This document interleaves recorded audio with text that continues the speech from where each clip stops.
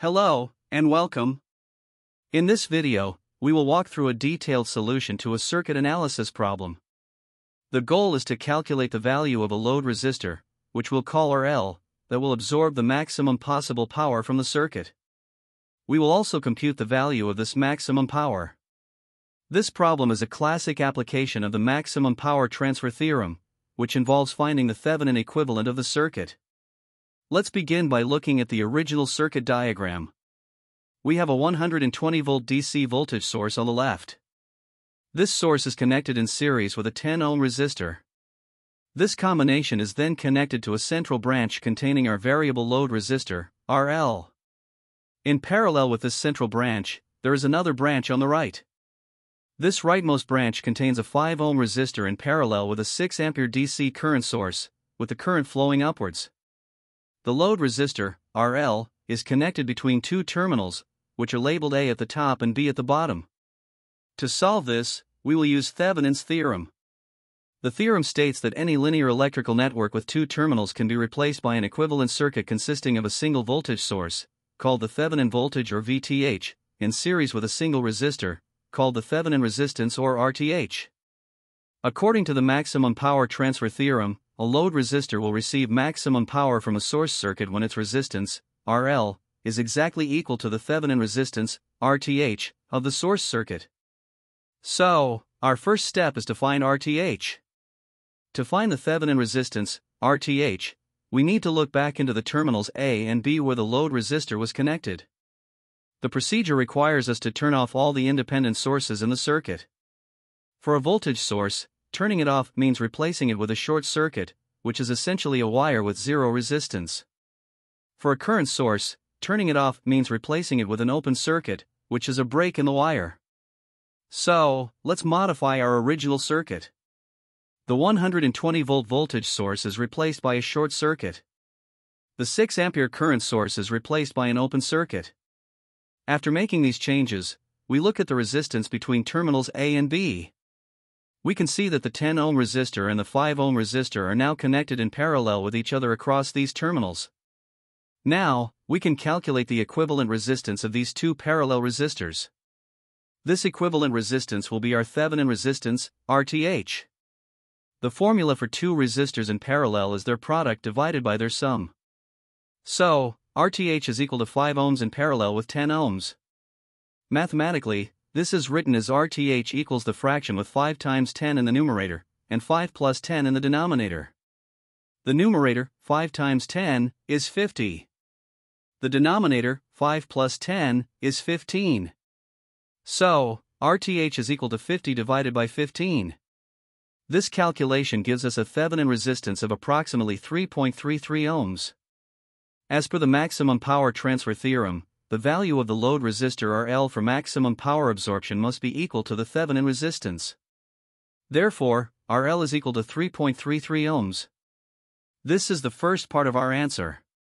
Now that we have the value of RL, we need to find the maximum power, Pmax, that it can absorb. The formula for maximum power is Pmax equals the Thevenin voltage squared, divided by 4 times the Thevenin resistance. That is, max equals VTH squared over 4 times RTH. This means our next major step is to find the Thevenin voltage, VTH. The Thevenin voltage is the open circuit voltage across the terminals A and B. To find it, we go back to the original circuit and remove the load resistor RL, leaving the terminals A and B open. VTH is the voltage difference between point A and point B. The solution provided in the image takes a specific approach to find VTH. It first analyzes the rightmost part of the circuit. It calculates a voltage value by multiplying the 6 ampere current by the 5 ohm resistance. This is written as V equals A times R, which is 6 amps times 5 ohms, giving a result of 30 volts. This 30 volt value is then used to calculate the current flowing through the left loop of the circuit, which is labeled as I1. This current I1 flows from the 120 volt source through the 10 ohm resistor. The calculation for I1 is shown as the difference in voltages divided by the sum of the series resistances in that path. So, I1 equals open parenthesis 120 minus 30 close parenthesis, all divided by open parenthesis 10 plus 5 close parenthesis. The numerator, 120 minus 30, is 90. The denominator, 10 plus 5, is 15. So, I1 is equal to 90 divided by 15, which gives a current of 6 amperes. Now that we have the value for the current I1, we can find the Thevenin voltage, VTH, by applying Kirchhoff's voltage law, or KVL, to the leftmost loop. Let's start from the negative terminal of the 120 volt source and move clockwise. The KVL equation is negative 120 volts plus the voltage drop across the 10 ohm resistor plus the Thevenin voltage VTH all equals 0. The voltage drop across the 10 ohm resistor is 10 times I1. So the equation is negative 120 plus 10 times I1 plus VTH equals 0. We just calculated I1 to be 6 amperes, so we substitute this value into the equation. This gives us negative 120 plus 10 times 6 plus VTH equals 0. 10 times 6 is 60. So the equation simplifies to negative 120 plus 60 plus VTH equals 0. Combining the constant terms, negative 120 plus 60 is negative 60. So, we have negative 60 plus VTH equals 0. By adding 60 to both sides, we find that the Thevenin voltage, VTH, is equal to 60 volts. We now have both values needed to calculate the maximum power, VTH is 60 volts and RTH is 3.33 ohms. Let's use the maximum power formula, max equals VTH squared divided by 4 times RTH. We substitute our values into this formula. max equals 60 squared, divided by the product of 4 and 3.33. First, let's calculate the numerator, 60 squared, which is 60 times 60, equals 3600. Next, let's calculate the denominator, 4 times 3.33 equals 13.32. So, max is equal to 3600 divided by 13.32. Performing this division gives us a result of approximately 270.27. The unit for power is watts.